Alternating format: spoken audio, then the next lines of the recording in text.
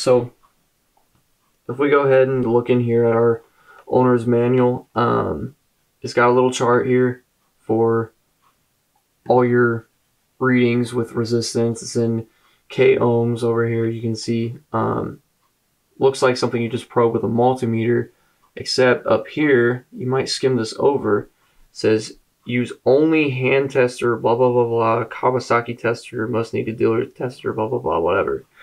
Stupid crap. You might just look over and be like, whatever. I'll just use my own multimeter, which is exactly what I did.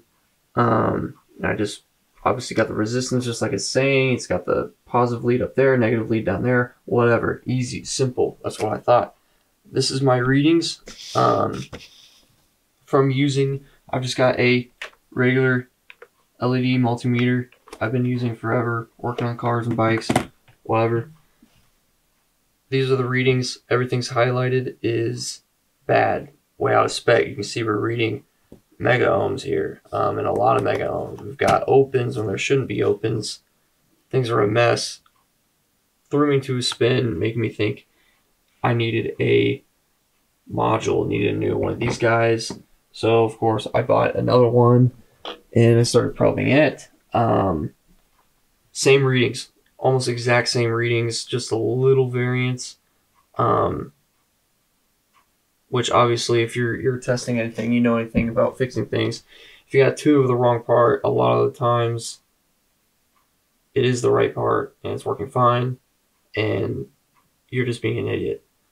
So I went ahead, and scoured some more, whatever. Um, I'm trying to keep this short so I don't bore you guys. Obviously the people looking at this are just wanting to know how to fix it. Um, what you gotta do, get yourself a analog multimeter this is cheap on Amazon. I got like 30 bucks. Um, I got this because it looks exactly like that Kawasaki tester that you're not going to find anymore. It's like $300. I found one for, you're not going to buy it. Just get $30 analog multimeter. Um, yeah, I went ahead, probed everything like you would with this multimeter.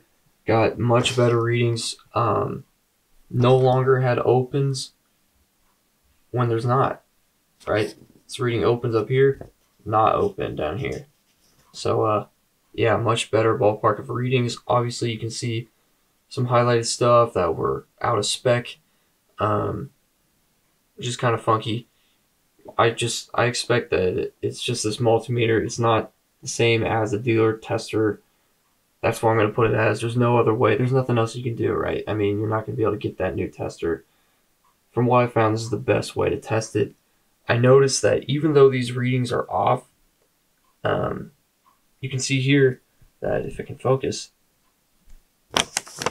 row 10, we got 4K ohms, right? Row 9, we got 0.15. In the chart, calls for 1.4 to 5.5 on the 9 and 5 to 20 on the 10. So obviously, there's a big difference between 9 and 10 over here we got a big difference between 9 and 10. So, and it's about the same ratio, right? 0.15 to 4k ohms. About the same ballpark, I think. Whatever. So, I think that this module is fine. My problem is elsewhere getting spark. Uh, and yeah, I think this test is going to get you to where you need to go, at least give you a good idea of whether your module is good or not. If your module's bad, more than likely it's going to have way over the top resistance. You're going to have an open somewhere. It's it's going to be a mess. With this being showing a pattern and everything pretty much being in spec, I'm going to say this is a good module. Um, yeah, so any of you guys, hope this helps you with finding your spar, getting this module tested. There's not much information out there, so good luck. Um, I'll catch you guys in the next video.